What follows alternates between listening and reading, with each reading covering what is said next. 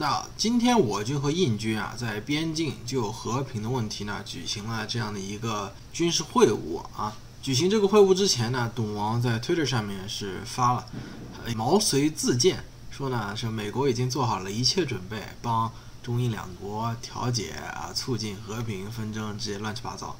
然后呢，我国这个发言人啊赵立坚就是明确指出跟你没关系。呃，印度呢也就是表示明确拒绝。啊，这两边不是人吃了个闭门羹。其实啊，他要进来插一脚这个事情，你不看新闻，你大概也能猜到。同时呢，两边都拒绝呢，应该也是你不看新闻，你应该能猜到的。啊，我国一向就是我不干涉他国内政，他国也不要来干涉我们内政。啊，印度呢作为一个世界大国，它是有一个大国风范的。啊，凭什么我跟中国的事情要你插一脚呀？啊，一直以来，印度对美国种种所谓的。讨好行为呢，基本上都是热脸贴冷屁股啊，是没有一个特别的感激之心或者怎么样。因为毕竟按照毛老师的话来说呢，就是我是一个大国，这都是应该的啊，是吧？包括印度的支柱产业啊，IT 和医疗行业也都从美国捞了不少油水。那美国这边呢，希望它成为啊我国的次要战略方向上面的一个重要挑战，所以呢也是千依百顺，当刚娶的小媳妇儿一样哄着。当然，我国领土神圣不可分割，就边境问题而言，本身没有什么可谈的。但是就现在发生的这件事情来看呢，又是你丢石子，又是互殴，实在也不像是一个和平稳定、能够长久和睦相处的一个情况。所以呢，该谈还是要谈啊。印度方面呢，也是认为和平协议是解决这个问题最好的方法。那么，其实二零二零年伊始啊，发生了这么多事情啊，我们直播的时候调侃说，以后学历史的学生，今年呢是。难点中的难点，考点中的考点，非常难学的一年，是吧？那么印度呢，发生了非常多的事情啊。我说这个叫这一年美国印度化，印度神仙化。印度哪里神仙了？就发生了一系列稀奇古怪的事情啊。哇，西边呢是皇军来了，东边呢二十年来最大飓风安芬啊席卷印度东边的几个邦，呃，死了几百人啊，数万人无家可归，政府呢束手无策。然后又是在这张新冠，然后中部呢又恰逢大旱，可以说这一系列的就是水火之灾啊！哈 如果用相学来说的话，基本上你能想到的这种古代里面史书记载的天灾，该有的都有了，又是瘟疫，又是洪水，又是飓风，又是蝗灾。前两天又报道说这个雷雨天气，结果呢一道雷直接劈下来，把泰姬陵的这个主体建筑劈伤了，还是怎么着？和美国国旗一样的嘛，一劈两半。就史书而言呢？该有的灾害，能发生的灾害，基本上都已经发生了。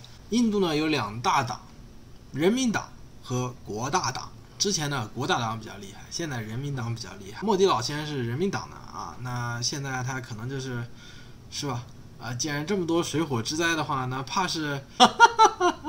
于是呢，现在这个国大党党主席啊叫索尼娅甘地，是之前他不是那个圣雄甘地，没什么特别关系。啊，她之前她的老公是印度总理，她积极培育自己的子女进入印度的政坛。她的儿子拉胡尔甘地呢，是接了这个印度国大党的主席。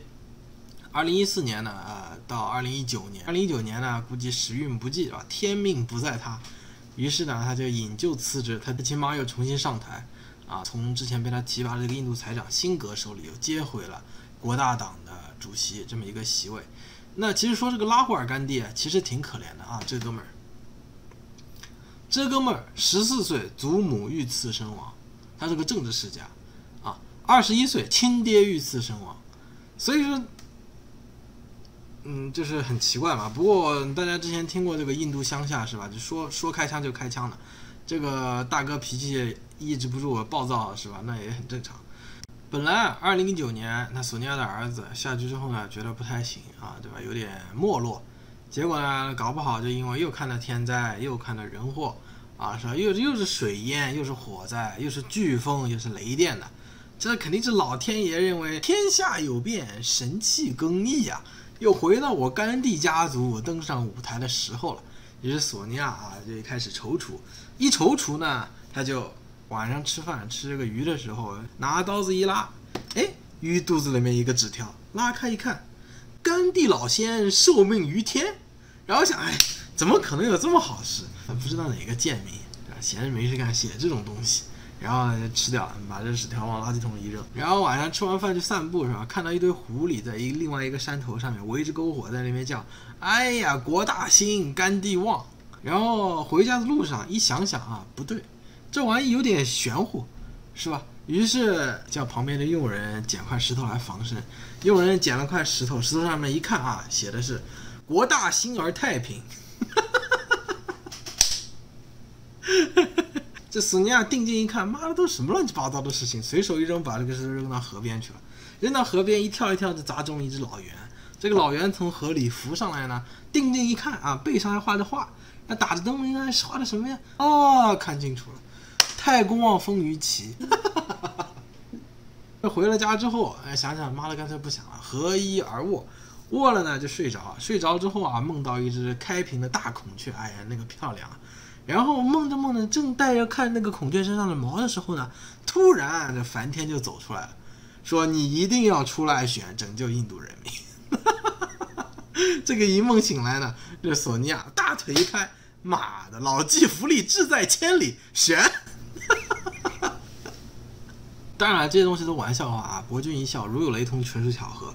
这个索尼娅甘地呢，他本身是意大利籍，放弃了意大利国籍呢，加入了印度籍。整个甘地家族啊，可以说是尼赫鲁一系的，就是毛主席说那个想三天三夜想不通为什么要来搞我们那个尼赫鲁。遇刺的这个叫拉吉夫·甘地，本来呢是一个印度史上挺厉害的一个有作为的人，就这哥们儿可能是收了一些钱，和一些寡头可能有一些关系，最后是被人扒出来了，然后有一些众叛亲离的意思。所以一直消沉，一直到零四年，国大党才正式的杀回来。而当初啊，拉吉夫提拔了财政部长辛格呢，也就是后来重新把国大党主席从索尼娅的儿子手里给到索尼娅的这位辛格，也是第一个锡克教徒，头上缠带子像阿里巴巴那个锡克教徒啊，能做到印度的这样的部长级高官的第一人。所以其中关系错综复杂。但如果我们要说玄幻的话，印度这一年的开局的确是比较魔，啊，还有很多这个天灾已经多了数不清了，人祸那也更多。这个事情要是发生在其他国家的什么地方，那觉得这个东西简直就是一个重大新闻啊。但发生在印度，似乎就觉得啊，这东西可以理解。我并不是嘲讽印度，但是人家的确是一个，呃，也是一个以人为本的国家吧。只不过他这个以人为本，以的这个人呢，和我们想的人应该不是一样的啊。有人就是。说印度精英认为印度只有一亿人口嘛，啊，对吧？它是一个这样的一个情况，所以就有上个月发生的，我没跟大家讲的，这个火车压过去，结果有人在那个轨道上面睡觉，啊，这个十七个人，啊，类似这种事情。当然还有一个更好玩的事情，就是印度它有一个公司做了一个 Remove All Chinese Apps，清除所有中国应用程序，做了一个这么在安卓手机上面的，专门用来清除中国应用程序的软件。啊，结果似乎还挺畅销的。这个软件，当然非常奇怪的是，你们用的手机很多都是 Made in China，很多都是中国品牌。你用着中国品牌的手机，用着中国制造的手机，又删除一些中国的制造的软件，这算是什么操作？就在他们实行了这个东西之后呢，过了一个星期，就前天的事情嘛，谷歌就把他们做的这款 Remove Chinese Apps 这个用软件啊给下架了，说呢是违背了谷歌的一些用户协议啊，违背了。具体违背了什么协议？谷歌反正没说。所以呢，和印度的问题啊，真是三言两语很难说清楚。又是邻居，又是伙伴，有的时候呢也有些摩擦。但是就总体的发展而言呢，中印是有非常多的沟通管道的。你要是说，虽然现在陈兵边境，你说真要搞出什么事情，我个人觉得是不太可能。我甚至觉得呼吁都没必要呼吁了。你说董王出来想插一脚，两边都非常直接，滚滚滚滚滚滚滚，这就非常明确的，两边都是。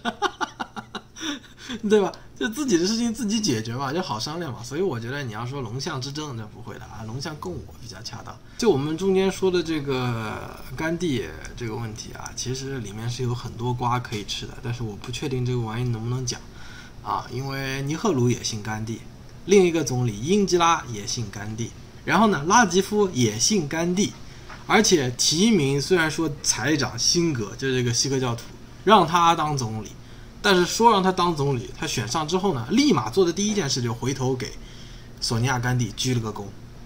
印度啊，男人给女人鞠躬，还是选上总理之后第一件事？